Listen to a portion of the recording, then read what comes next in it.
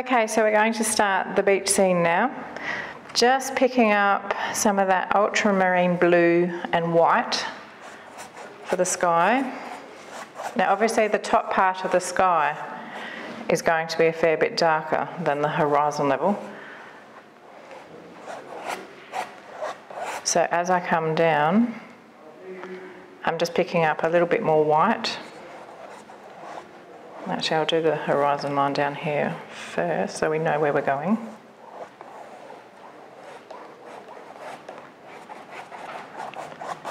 And then come back up.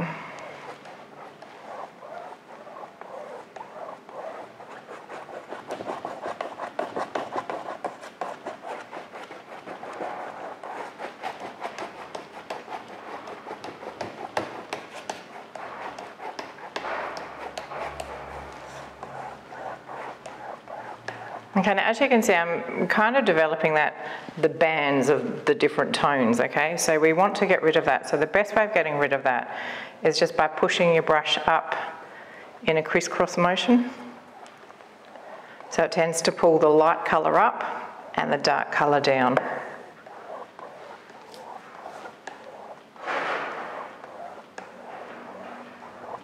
And then just go left to right, left to right until it all evens out.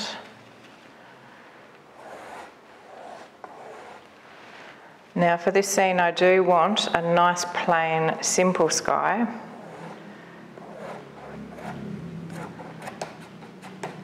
So I don't want too much action in it. It's all quite rare for me. I love painting skies and clouds. But in this scene here, I do want the focal point to be the foreshore and the foam area. Okay, so I'm now going to pop in the distant ocean. Okay, for that I'm just using a flat, really nice soft bristled brush. It's a size 18 for this. This is the same one that I use for the sky, or the same size. Um, it is a clean brush for this. Now the distant water, closest to the horizon, uh, you'll see I'm leaving a blank strip here, okay? I'll show you why in a tick. That part there, where it meets the horizon, is a little bit lighter than the rest of the ocean.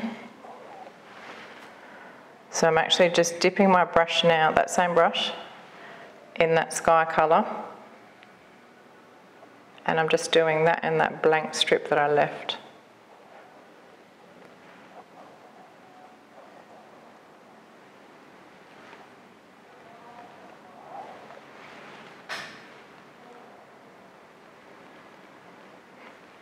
Now there's different ways you can get the horizon straight, because obviously that's important. I find if you use a long brush and hold it at the base of it, um, the quicker you move, you tend to get a straighter line than doing it really slowly. I'm actually getting a little bit of that sapphire colour that we made up with the phthalo green and phthalo blue.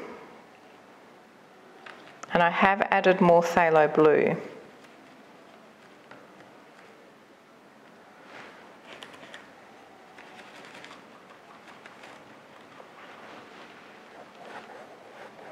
So I want it darker.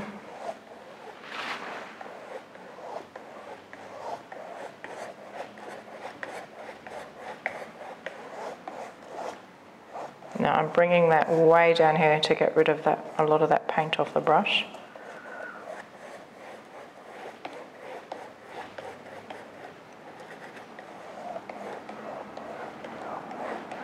Okay, now my way, the technique I use to actually get rid of those bands of colours in the ocean to blend them out is I use the same brush but I wipe that paint off and then I just dip that same brush into water so it's wet and then I come back and I just brush left to right, left to right where those colours meet. So it's obviously going to bring that dark colour up, the light colour down. So it's going to change that the tone of like that distant colour. But I just leave about a centimetre where I don't go over at all, so that is still that really light, soft colour.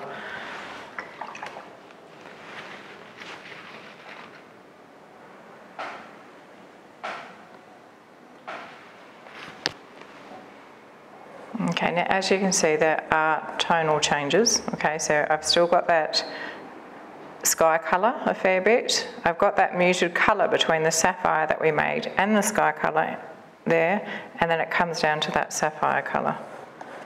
Just adding a bit of that mid-tone of the green we made from the white, yellow and phthalo blue. I'm just going to pop a little bit of that down here and blend that into that dark tone.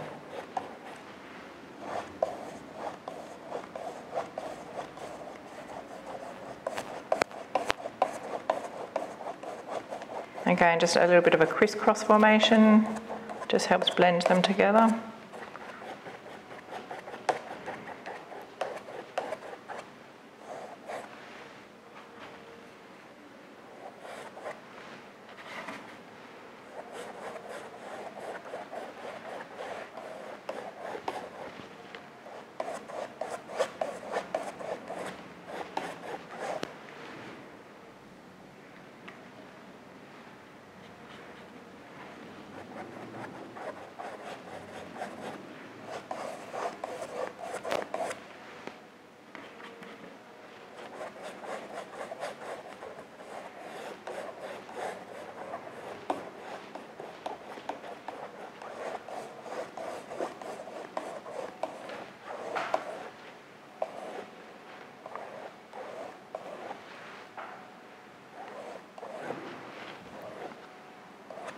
Right, now I'm not having too much of the ocean.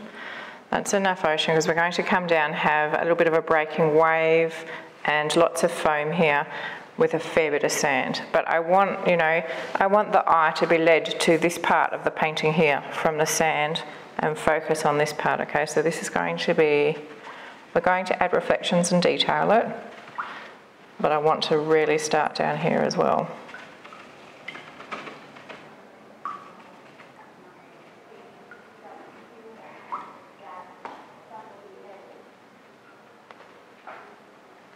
So what I'm doing, I'm just picking up some of that mid-tone sand colour.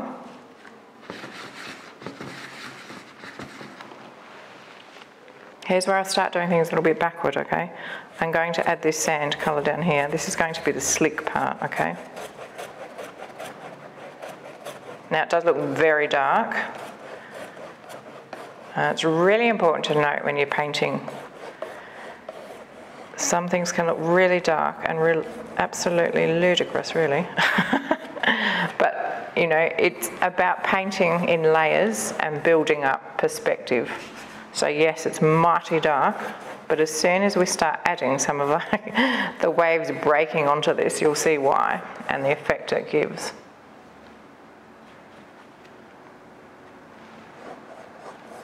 Now I have picked up a little bit of that murky green colour that we made from the white, cad yellow, a little bit of phthalo blue, and I added burnt umber to this. So I'm just popping some of that in here. And again, you'll see I'm mixing it into the brown as well. I'm blending it into that blue at the back, the green at the back a little bit.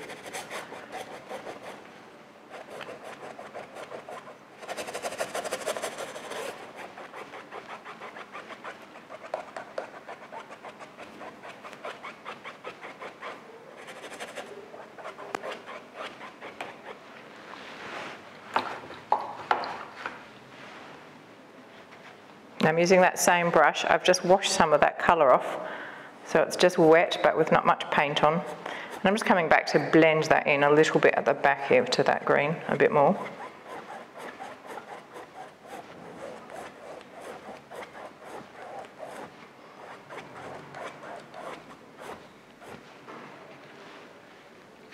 Okay, just wetting the brush. Now I'm picking up some of the lighter sand colour we made. So this was, this is just burnt umber and white.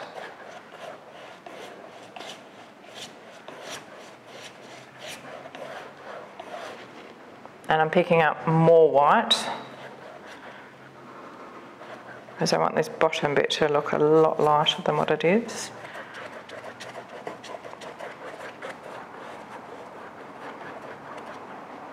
And then um, the mid-tone of that.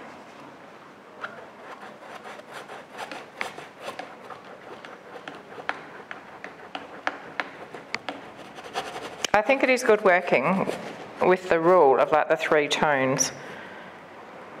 So for each colour I make, when I went through that colour palette with you, okay, so you have like the dark, the original colour, you have a mid-tone, and then you have a lighter version of it. Now with this, where that dark, like the burnt umber colour is, I am actually just going to blend, wash these in together a little bit, so it's not so much of a stark line here.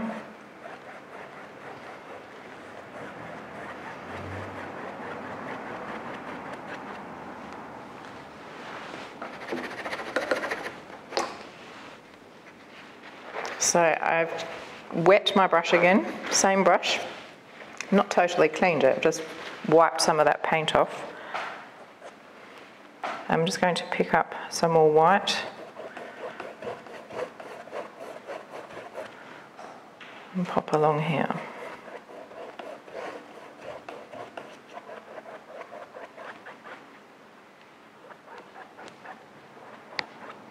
Now you can see this sand is not blended beautifully, okay? You don't have this wonderful gradation of colour happening and I don't actually want that which might sound a bit odd, but for my beach scenes, for me, a part of it to get it looking realistic is actually having different colours and not it perfectly blended, okay? And again, if you go to the beach, very rarely do you see, you know, just pristine, beautiful sand, you know, or you don't here anyway. um, there's always lumps and bumps and crevices and divots and, you know, areas where you get lots of light shining on, reflecting on some areas and others. It's going to be a bit darker.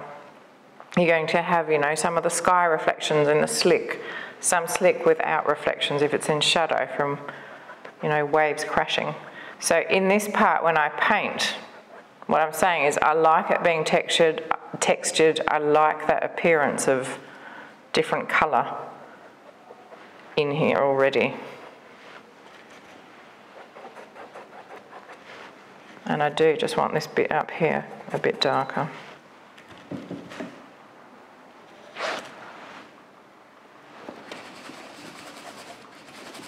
So I've just picked up some burnt umber and added a tad of phthalo blue to it.